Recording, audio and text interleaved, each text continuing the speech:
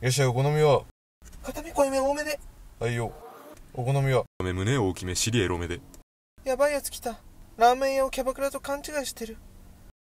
はいよ。何が廃用なの？はい、お待ち。あの大将はいよ。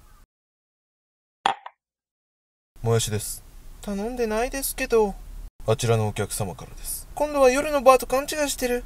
大将ちょっとはいよ。ニンニクです。マシマシの。だから頼んでないですって。あちらのお客、でしょうね。めっちゃこっち見てる。ウインクできてないし、あんたがやってるのおせっかいまばたきだから。何それ、ホテルの鍵？行くわけないからね。勝手にドッピングしてくる男と寝る気ないからあなたの横下ニンニクマシマシのせいでこっちは不快感マシマシなんですけど。なんでこんな自信満々なの？次は何？芋虫です芋虫。拾ったんです道でそんなキラキラした目で見ないで。あの大将そろそろ準備できましたええ、お待たせしました。いや、何者？